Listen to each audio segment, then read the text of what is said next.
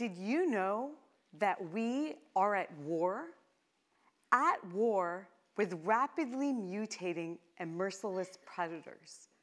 And if these predators claim victory in this epic battle, it will lead to the demise of humanity. They are worse than the flesh eating, rancid, blood sucking, rotted zombies. These insidious vultures are easily transmissible between each one of us. No bite required. And when we least expect it, they thrive upon us from the inside out. The battle we are facing is with antibiotic resistant bacteria. And we as a society are failing miserably at stopping it. A recent report conducted by the Organization for Economic Cooperation and Development in 2018 revealed that over the next 30 years, deaths due to antibiotic resistant infections will far exceed 90,000 in the UK, 1.3 million in Europe, and 10 million worldwide unless we take action right now. To understand the current state of this war, we must go back centuries to truly appreciate bacteria. As philosopher Sun Tzu stated, to know yourself, but not the enemy, for every victory gained, you will also suffer a defeat. Like us, bacteria are living creatures, but they have been in existence for over 3.5 billion years.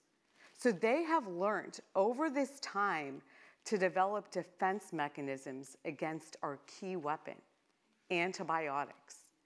Every time we use an antibiotic to kill bacteria, the resistant bacteria, which are strong enough to withstand antibiotics, survive and propagate. These resistant bacteria are now able to transfer their resistant genes to susceptible bacteria and multiply even further. Currently, bacteria are looking and acting stronger than us. But in the midst of chaos, there is also opportunity. It is up to us do we want to win or lose in this war with antibiotic resistant bacteria? Do we want to know how we could win in this battle? Yes. Good. Let us fight with infection prevention. First, as we will be fighting in this battle together, let us get to know each other. First, turn to your right and verbally greet your neighbor.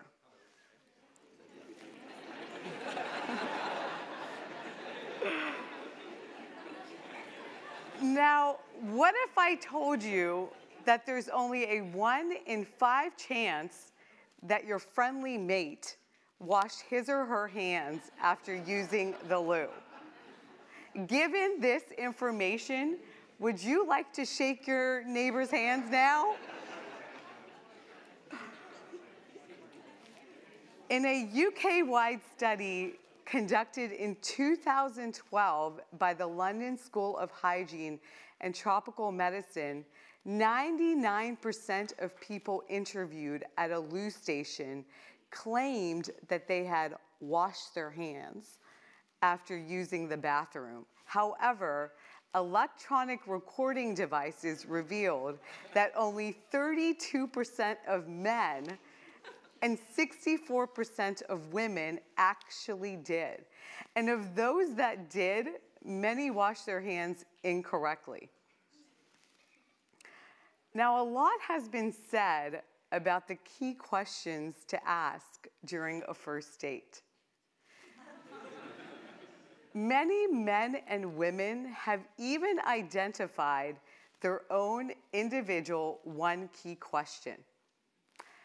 As a doctor in infectious disease research with over 10 years infectious disease experience and over 30 research publications, there is clearly only one question worth asking.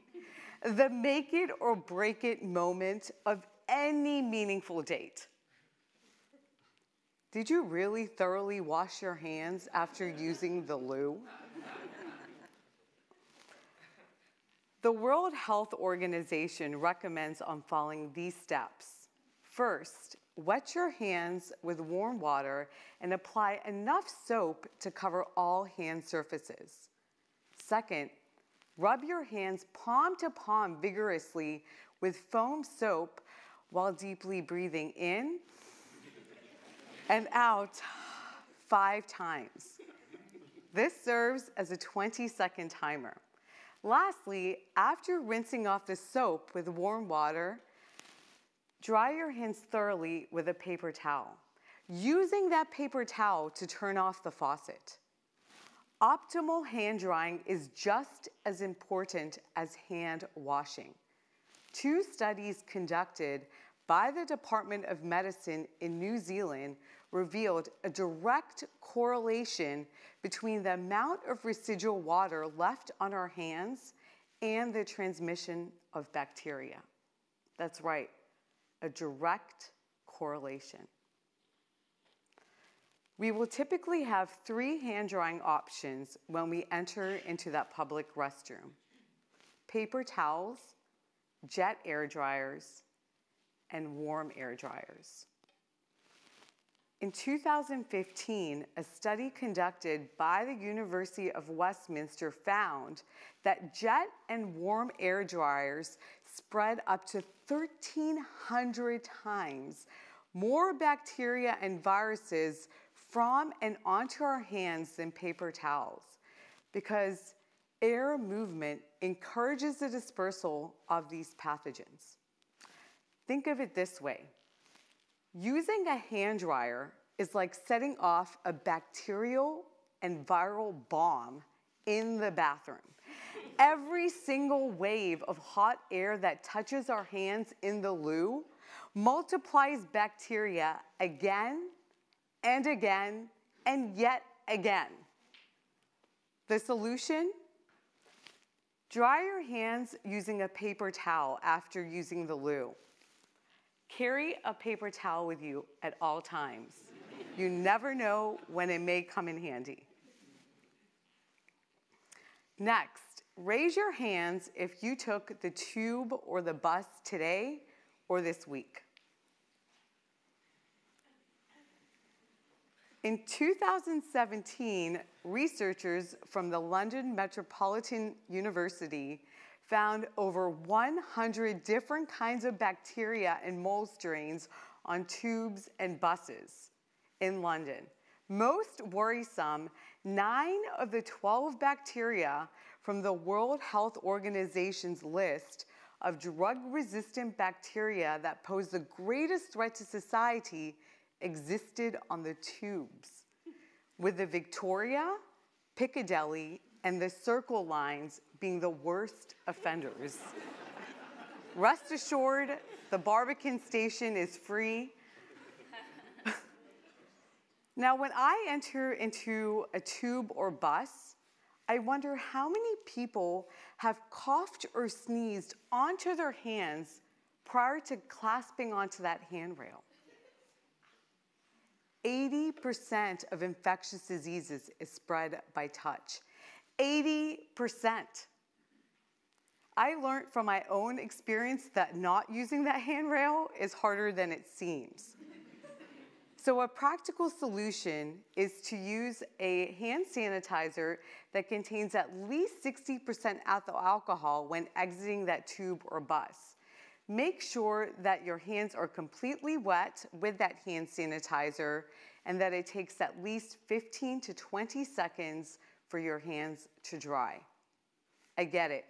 You're thinking, she's asked me to wash my hands while deeply breathing in and out five times, like I'm in a therapy session, carry a paper towel with me at all times, and now carry hand sanitizer? My gosh. Remember, we are at war. We must stay prepared. When you enter that tube or bus, do not think about that seat. Think about not getting sick. Think about hand sanitizer. Humans have been predicting the end of the world for centuries. It is inevitable that microbes will evolve resistance to antibiotics. But we can slow that process by preventing infections and transmission. Using one of philosopher Sun Tzu's essentials for victory, he will win who knows when to fight and when not to fight. Ladies and gentlemen, the time is now. The first fight takes place in the loo. The second fight takes place every time we take public transportation. And the third fight takes place when we are feeling the most vulnerable, when we are on the verge of falling in love. Ask the right question from the get go. if we take action now, we can claim victory in this epic war with antibiotic resistant bacteria and thrive in the years and centuries to come. Thank you.